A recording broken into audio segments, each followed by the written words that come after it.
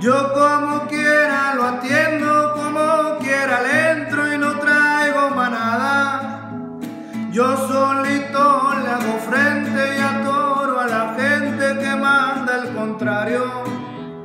Se me está haciendo costumbre matar dos o tres de los que matan diario. Este día no lo recibo